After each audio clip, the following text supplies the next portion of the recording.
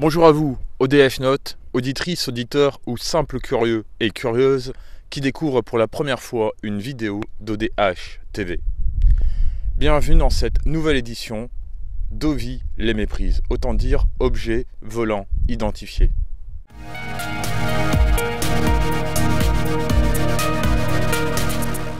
Suite à de nombreux mois de chamboulement dans le programme d'envoi des vidéos d'ODH TV, suite au confinement, au déconfinement, au reconfinement et au redéconfinement, les émissions Ovi les méprises reprennent. Ainsi, elles seront diffusées une fois par mois ou tous les deux mois, selon les différentes informations. Je tiens également à préciser que ces émissions sont en lien avec le site internet méprisduciel.fr que je vous conseille de visiter. Peut-être que vous trouverez une explication à ce que vous avez observé hier soir ou anciennement.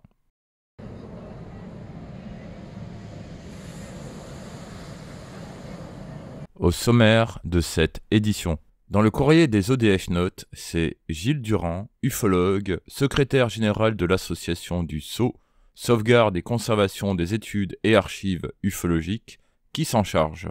Dans l'astuce du veilleur ou la méprise du mois, Didier Gomez, ufologue du département du Tarn et ancien rédacteur en chef de la revue Ufomania, va vous parler de son observation au cours de la nuit du 5 novembre 1990. Dans la question de l'édition, Rami Fauchereau, ufologue du département de Lyon et président de l'Association d'études des phénomènes aériens, ou AEPA, vous parle des mouches dans les crop circles. Puis dans le dossier de cette édition, nous allons nous intéresser pour une deuxième fois au RR2 expliqué ou les traces au sol.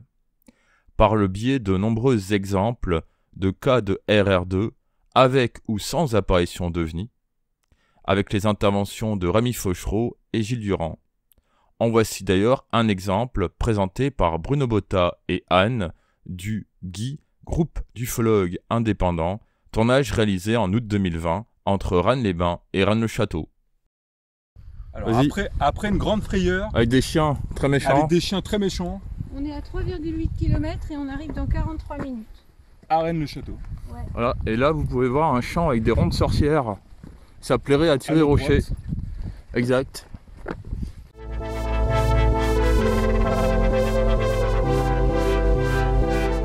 Je retrouve Gilles Durand à Brunois. Alors, question posée par un ODF Note. Pourrais-tu nous parler de l'opération Saros du CNEGU Euh, l'opération Saros du CNEGU, hein, c'est vraiment criant là-dessus, hein, parce que ce sont que des confusions avec la Lune, euh, mais qui ont été euh, enquêtées, réenquêtées et contre-enquêtées, et même en présence des témoins eux-mêmes, qui ont avoué qu'effectivement c'est ça qu'ils avaient vu. Parce qu'en fait le cycle du Saros, c'est un cycle qui, 18 ans, X mois, X jours, remet au même endroit, au même azimut, à même altitude, et dans euh, la- même configuration, la Lune. Donc, euh, 18 ans après, tu peux aller sur le terrain, si le témoin est toujours vivant, s'il est d'accord de venir avec toi, eh ben, on, a des témoins dans Saros qui admettent effectivement que c'est ça qu'ils ont vu, que c'était bien la Lune et qu'ils ne l'ont pas reconnu comme tel à ce moment-là.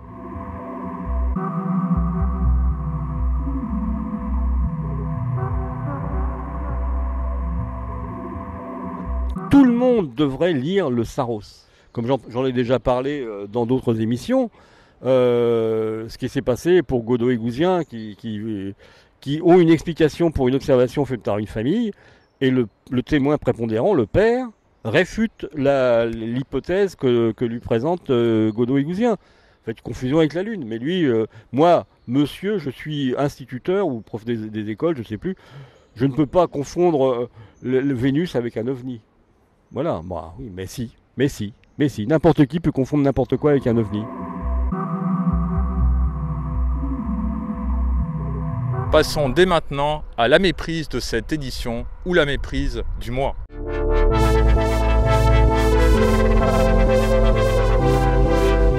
Euh, novembre 90, où là j'ai fait l'observation de la rentrée de, euh, atmosphérique qui avait généré pas mal de témoignages.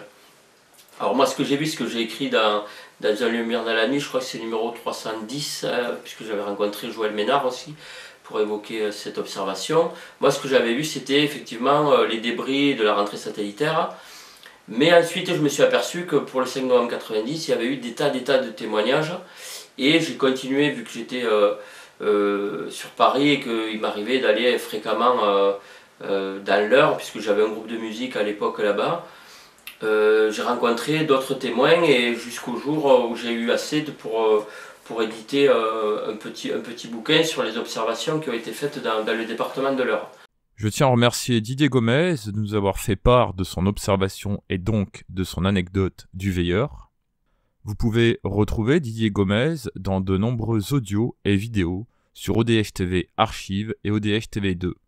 Les liens sont affichés en dessous de cette vidéo.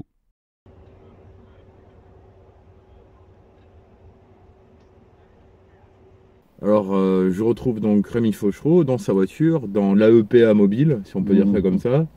Euh, tout à l'heure, tu as mentionné euh, le fait des mouches dans les crop circles. Ah oui. Et pourrais-tu nous, nous, en parler? Oui, justement. Alors, on nous dit beaucoup en ce moment, quand il y a des crop circles, eh bien, regardez, vous avez des mouches qui sont desséchées sur les épis ou sur les, oui, sur les épis des, des blés. Euh, qui soient couchés ou qui soient même restés debout. Et on nous a dit qu'ils ont été pris au piège par euh, une source de micro-ondes ou des choses comme ça.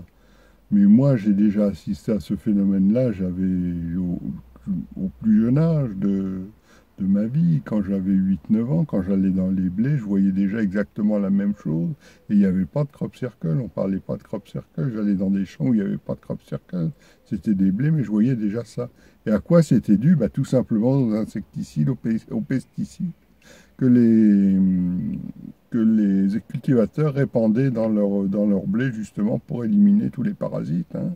C'était pas autre chose comme que ça, et j'en ai jamais entendu parler à l'heure actuelle de, ce genre de, de, choses dans les crop circles.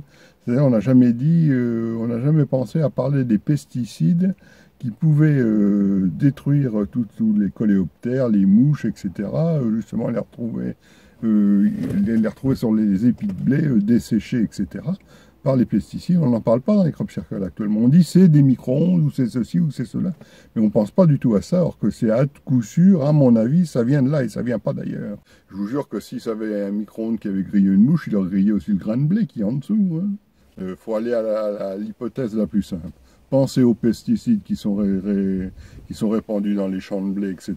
Et puis vous aurez pratiquement la solution, à mon avis, à 99,99, même pour ne pas dire à 100%, vous aurez la solution au problème.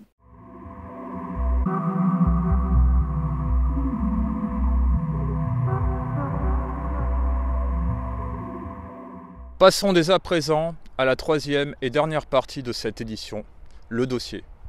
Nous allons nous intéresser pour une deuxième fois sur les traces au sol identifiées.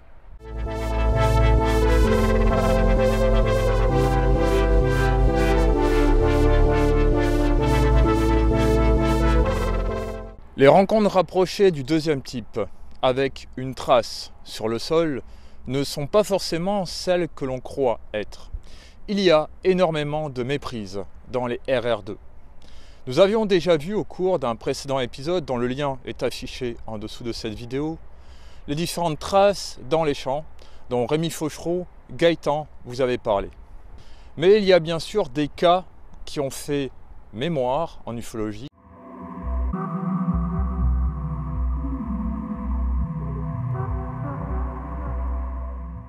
Dans cet épisode, nous allons aborder différents types de traces au sol, par le biais de cas de RR2 ou rencontres rapprochées du deuxième type avec ou sans observation d'OVNI ou de PAN. Nous aborderons également une anecdote autour des crop circles avec les interventions de Gilles Durand et de Rémi Fauchereau. C'est une vidéo qui va donc vous montrer différents cas français qui ont été expliqués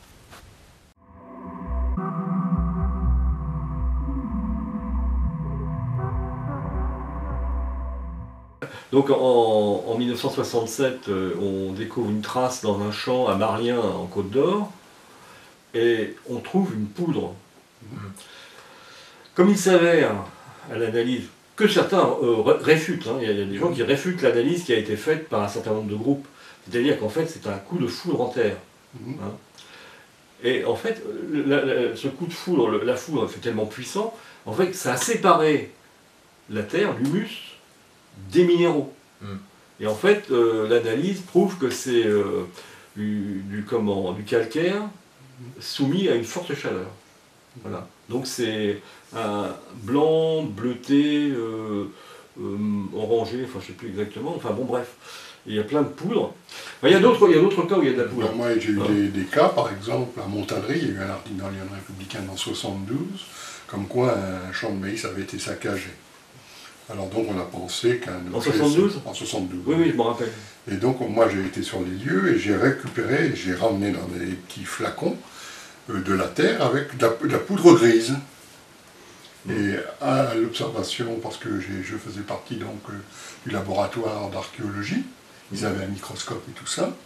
Et puis donc au laboratoire d'archéologie, il y a aussi le laboratoire de paléontologie Mm. avec un agrégé de sciences naturelles qui était bien placé pour connaître les végétaux et tout ça. Il est venu voir. C'était de la poudre, vous savez, comme dans les vestes de loup. Hum, hum, hum.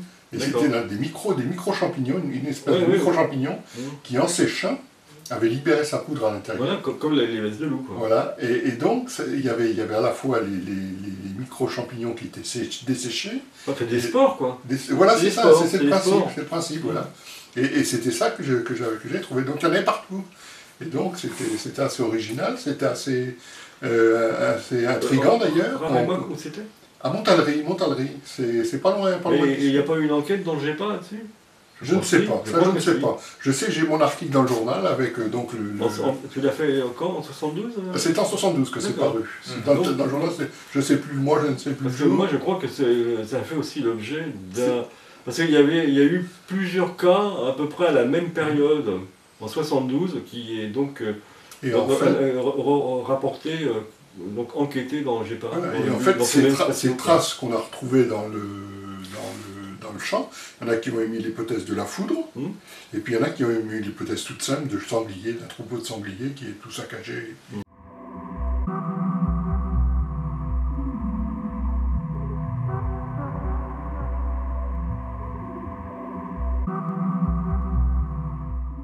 Mais trans, ce qui est intéressant, c'est de voir qu'on on a prélevé euh, la, petite luzerne qui était là, euh, qu'on a analysée, ah, elle, est, décolorée, etc. Et ça va, euh, plus on s'éloigne, moins il y, a- eu d'impact sur le- les plantes. C'est normal. Ah. Tu, mets, une, un, verre ou oui, un verre de, comment, de désherbant à un endroit. Voilà. Bah, il, va- se diffuser, mais plus il se diffusera, plus il sera dilué. Et au bout d'un moment, il n'aura plus d'action. Donc, au centre, ça va être cramé, et plus ça va aller vers l'extérieur, moins les plantes seront touchées. Voilà, si on ne répond pas partout, si, on met juste à un endroit précis. L'hypothèse de Trans-en-Provence, l'hypothèse réductionniste de Trans-en-Provence, à laquelle j'adhère complètement, c'est un, une, euh, une bétonneuse. En les traces de pneus, bah, on sait bien, les bétonneuses, pour pouvoir les déplacer, souvent d'ailleurs elles sont tirées derrière une voiture, donc elles ont des pneus. Donc en fait, on, a dû la déplacer, donc d'où la, la quasi-circularité de la trace, c'est plutôt un grand arc de cercle. Et à l'endroit, le, béton, on sait quand même qu'il y a de la chaux.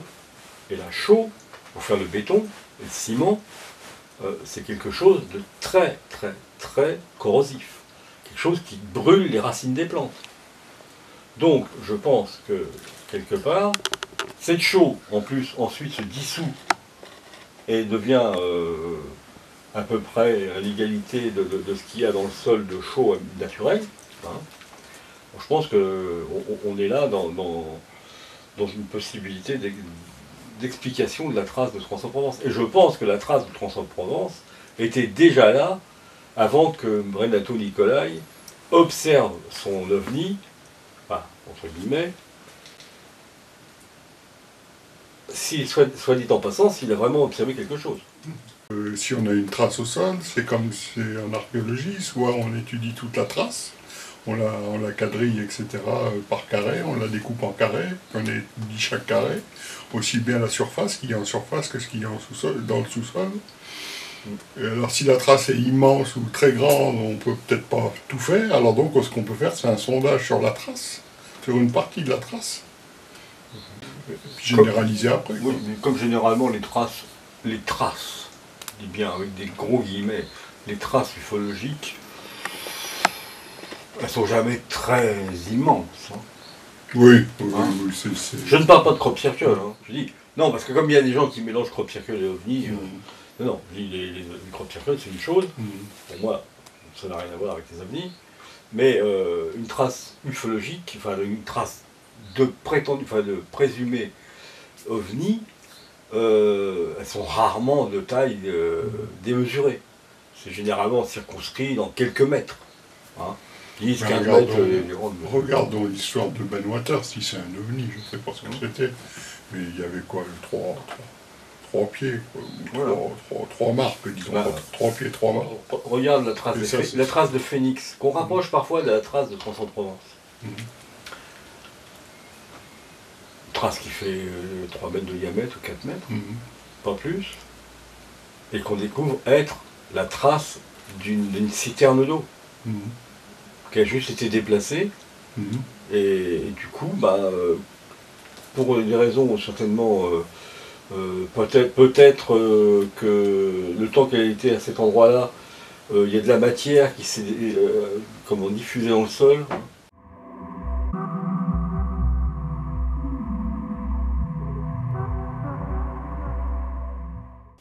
Là où je me situe actuellement, je suis sur la trace de du plateau de Cossol dans les Alpes-Maritimes.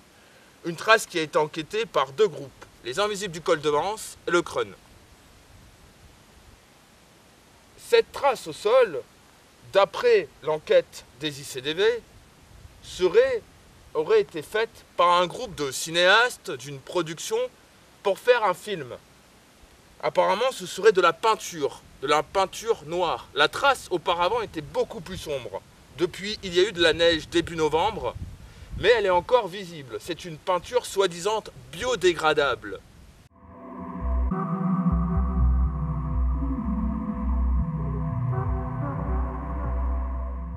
Rémi Fauchereau va à présent vous partager une enquête qu'il a réalisée à Joux-la-Ville, dans le département de Lyon. J'ai- mesuré la radioactivité à l'intérieur du cercle, sur le cercle, à l'extérieur du cercle. J'ai regardé les plantes si elles étaient brûlées, etc. Enfin, En gros, ce que je connaissais de la, de de méthode, d'analyse des traces. Et puis, ben, tout était normal. Et puis, j'ai bien vu, on voit bien que c'est, ça vient d'une ou un truc comme ça. On voit bien que c'est, euh, c'est une méprise, quoi. Mais le gars qui l'a vu de loin, il a dit, ah, ça y est, il y a quelque chose qui s'est posé là. J'ai dit, bon, ben, je vais aller voir. J'y suis allé, et puis, euh, ben, j'ai, des- fait des des- photos. des fûts de j'ai- paille, euh, Je pourrais te montrer les photos, j'ai fait les photos. Oui, c'est juste des fûts de paille. C'est ça, voilà, c'était de la paille qui était bien coupée, toute sur la même longueur ouais, et ouais, tout, et puis des des disposés pailles. en cercle. Peux-tu T'aurais réexpliquer, ce- pu- peux-tu réexpliquer ce que tu as dit précédemment sur la botteleuse qui fait un rond là? Oui, en fait, les botteleuses, euh, ça commence à tendance à disparaître parce que les machines maintenant euh, font tout le, tout le travail jusqu'au bout, jusqu'à jusqu'à faire des bottes de paille. Bon, c'est déjà assez ancien, mais il y a encore des machines qui sont utilisées ou qui ne font pas de bottelage. Donc à ce moment-là, euh, on, demande à une botteleuse, quelqu'un qui a une botteleuse de venir, qui ramasse la paille, donc il aspire la paille dans, un, dans une sorte de rouleau qui rentre dans un tube et qui va euh, fabriquer une botte de paille. Mais quand il arrive au bout de rang ou quand il a fini son travail, euh, souvent il fait un demi-tour et il y a toujours dans le, dans le tube d'aspiration, il y a toujours un peu de paille et ça va se répandre en arc de cercle comme ça. Donc euh, là, bah, bien sûr, c'est ce à quoi euh, Rémi a été confronté à ce moment-là.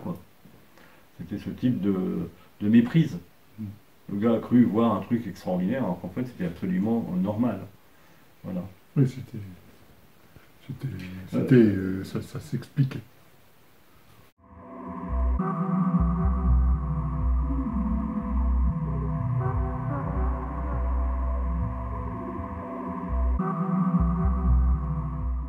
Passons dès à présent à une anecdote autour des crop circles. Gilles Durand a rencontré des circle makers qui lui ont fait part de comment ils ont fait un crop circle. Voilà. Donc, donc, ils, ils avaient des notes ben, sur des carnets avec les formes qu'ils devaient faire. Donc c'était des plans euh, sur du papier euh, canson, si je ne m'abuse. Et puis des notes euh, pour les, les différentes tailles. Donc il, mettait, il avait- il disait, on n'a même pas besoin de lumière. Au bout d'un moment, le papier blanc du canson, disons que c'est du papier il- le peu de lumière qu'il y avait, il l'absorbait. Donc il nous l'a renvoyé, donc on, lisait parfaitement notre plan sans aucune lumière artificielle. On n'avait pas besoin de, lumière euh, frontale ou quoi que ce soit. Et on voyait parfaitement. Alors comme ils y sont allés, euh, le, blé était assez mûr, hein, c'était au, mois de... Ils ont commencé au mois de juin, puis ils ont fini euh, vers le 15 juillet. Et le blé était bien jaune, donc en plus c'était clair. Donc euh, c'était absolument euh, facile. Il n'y avait pas besoin de... Ils, se voyaient, donc tous les membres de l'équipe se voyaient parfaitement, tu vois, les uns les autres. Donc ils savaient qu'un tel était là-bas, qu'il avait commencé à tracer un cercle, qu'il y en avait un qui faisait le pivot au milieu, et, et puis après il y en a un qui traçait une allée, qui commençait à tracer une allée, etc. etc., etc. Il n'y avait pas besoin d'autre chose que la lumière, le peu de lumière naturelle que la nuit diffuse. Alors ils, m'ont raconté à Hideville, ça a été extraordinaire. À Hideville, en fait, euh, ils avaient repéré le champ euh, 15 jours avant, ils, avaient, ils étaient descendus euh, en train jusqu'à la Ferté-Alais, puis ils ont cherché un champ. Ils ont trouvé euh, ce champ qui était bien placé, parce qu'il y avait un chemin, euh, l'entrée du champ, enfin il y avait donc un tramline qui était vachement facile d'accès et tout. Ils arrivent euh, donc, euh, ça devait être un samedi soir ou un dimanche, un samedi soir. ouais. Ils arrivent ce samedi, un samedi soir, commencent à rentrer dans le champ avec tout leur matos. Sauf que là-bas, je dirais au, bout du chemin, Mm. ça ils ne savaient pas, il y avait la fête, la fête foraine du village.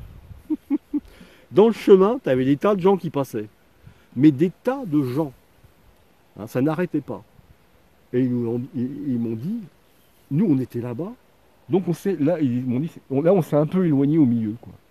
Parce que trop près, euh, ils avaient un peu la trouille. Mais même au, au loin, ils ont dit, mais les gens vont nous voir. Ils sont restés, et, et- et je, je crois qu'ils ont dû mettre trois heures à faire le.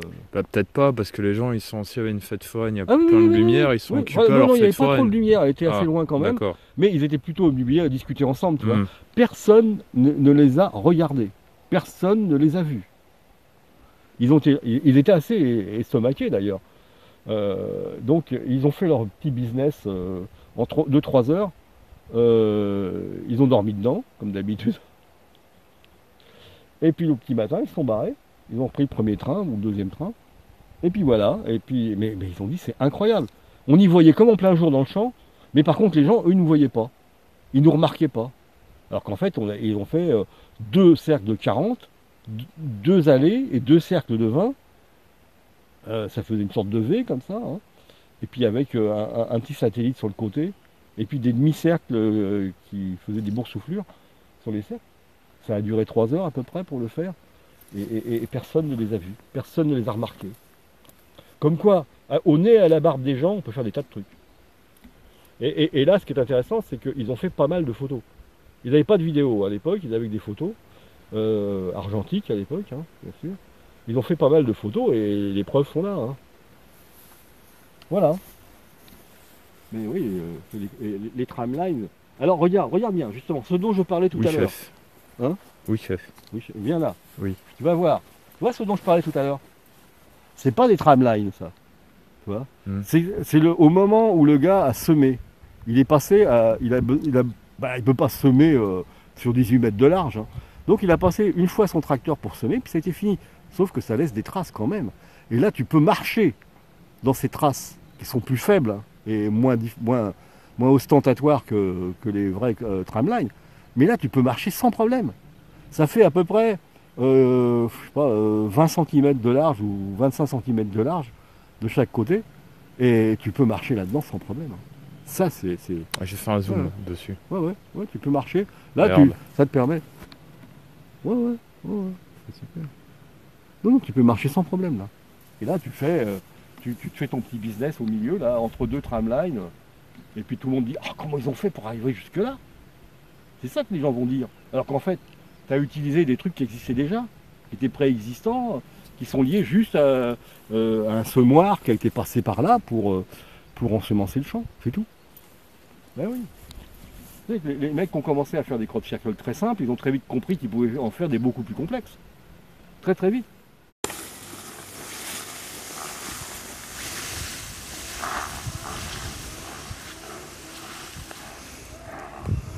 Tu pincé là? Oui. Ça se voit? Non. Bah voilà. Ça se voit pas.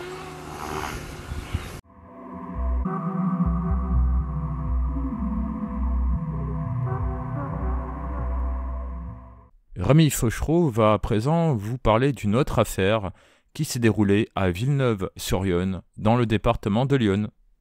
C'est très simple, c'est en allant à Aigrisel-le-Bocage, à la sortie de Villeneuve-sur-Yonne, j'ai pris la bretelle qui permettait d'aller à Aigrisel-le-Bocage. Et puis, euh, euh, c'est une bretelle qui est tournante. Et à l'intérieur de la bretelle, il y avait un cercle, enfin un carré d'herbe. Et dans ce carré d'herbe, il y avait ces fameux cercles de cercles de, d'herbe verte plus claires que, les, que l'herbe qui, qui était aux alentours.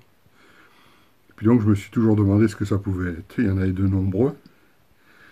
Et puis un jour j'ai envoyé une lettre à la gendarmerie en demandant est-ce que c'est pas euh, entre, entre guillemets des crop circles, ce que certains appellent des crop circles, euh, ça ressemble à ça. Pouvez-vous me dire un peu si vous avez eu des témoignages dans ce sens-là? Et quelques temps après, j'ai reçu un coup de téléphone. C'était pas un, écrit, mais c'était un coup de téléphone de l'adjudant-chef de la gendarmerie de Villeneuve-sur-Yonne qui m'a dit que c'était tout simplement des massifs de fleurs qui étaient en jachère. Voilà, donc euh, ils, avaient, retiré toutes les, plantes. Euh, vous voyez, c'est en hiver, on voit les arbres, on voit les arbres qui n'ont plus de feuilles, etc. sur les photos. Et donc, euh, pendant la période de l'hiver, c'était en jachère, c'est-à-dire qu'ils avaient toutes les feuilles et tout ça. Et l'herbe était repoussée un petit peu, et comme ils avaient mis certainement de l'engrais pour faire pousser les fleurs, l'herbe était différente, avait une couleur différente, parce qu'elle ressemblait à du gazon, si vous voulez. Voilà. Et donc, c'est aussi simple que ça. Ça aurait pu être confondu en un lieu d'atterrissage d'OVNI. Oui, justement, c'est tout de suite à ce dont ça fait penser on pensait que c'était plusieurs soucoupes, enfin entre guillemets, euh, soucoupes volantes qui s'étaient posées à cet endroit-là. C'était assez, assez rigolo quand même. Comme vous avez pu le constater, avec le cas qu'a enquêté Rémi Fauchereau, ces traces sur de l'herbe, s'il y avait eu une observation d'un phénomène inexpliqué ou insolite dans le ciel proche de ces traces, à ce moment précis, il est fort à parier que vous auriez retrouvé ce cas dans un livre portant sur des cas inexpliqués ou des cas ufologiques, soit dans le département de Lyon, soit en Bourgogne. Et c'est pour ça qu'il faut faire très attention. Il y a des artistes qui font des sand circles, des snow circles, du land art. Ce sont des œuvres artistiques et non ufologiques. Mais on a souvent trop tendance à mettre tout ce que l'on ne comprend pas dans l'ufologie. Je laisse à présent Gilles Durand répondre à cette question. Pourquoi l'ufologie, d'année en année, devient une sorte de fourre-tout? Euh, Dans les années 80, euh, euh, on colle une étiquette trace d'OVNI au, au, crop circle, au premier crop circle tout au moins, après ça c'est un peu compliqué. Hein. Euh, quand on voit M. de Nocla qui dit que ce sont des, extraterrestres du fond de l'espace qui nous envoient des messages qui viennent s'imprimer dans les champs, voilà. Oui. C'était parce que c'était plus possible que ce soit une soucoupe volante qui fasse les, dessins, tellement c'est compliqué. Euh, sauf que moi, je peux vous amener des personnes qui les ont fait dans les champs, par eux-mêmes, et voilà. Bon. Euh, je peux vous amener des circle makers, il n'y a pas de problème. Alors les Sand Circle, normalement, c'est du land art, mais bon, pendant un moment, il y a des gens qui n'avaient pas compris ce que c'était. Alors maintenant, ça l'est moins, beaucoup moins, bien sûr, parce que c'est très, très, très médiatisé comme land art. Parce qu'il y a des... Souvent, ils le font devant, euh, devant des spectateurs. Hein. Il, y a, des, annonces officielles qu'il va y avoir un, un Sand Circle qui va être fait sur telle plage, etc. Bon, voilà. Mais autrement, c'est sûr que le, phénomène ovni euh, est un fourre-tout de tas de choses lumineuses, plus ou moins lumineuses, euh, parfois euh, de, d'aspect métallique. voilà, ben, un soleil à travers les, un banc de brume, comme on disait tout à l'heure. Enfin voilà, qui, paraît, qui paraît gris. On dit ah ouais, un disque aluminium. Voilà. Enfin, bon, bref, des tas de choses comme ça. plein dedans, bien sûr, il y a des choses non identifiées. Euh, il y a des choses euh, étonnantes, mais il y a aussi des choses qui sont banales, mais qui n'ont pas été reconnues par le témoin, et qui peuvent pendant des années subsister dans une casuistique comme étant un ovni. Je remercie Gilles Durand et Rémi Fauchereau d'être intervenus dans ce dossier. Nous vous avons partagé quelques cas de rencontres rapprochées du deuxième type, sans apparition de phénomènes aériens non identifiés, des traces au sol, parmi tant d'autres, et il y en a encore beaucoup. Nous aborderons cela dans une suite à ce dossier, c'est-à-dire RR2 expliqué 3, qui sera diffusé prochainement sur ODH TV. Les témoins sont sincères, ils ont vu quelque chose, ils ne comprennent pas ce que c'est. L'enquêteur est là pour, après enquête, savoir et dire au témoin ce qu'il a vu. Si vous désirez avoir plus d'informations et de renseignements autour des cas d'observation de Trans en Provence, Marlien, les crop circles ou l'affaire de Cossol, veuillez cliquer sur les liens affichés en dessous de cette vidéo. Cela vous permettra d'en savoir plus.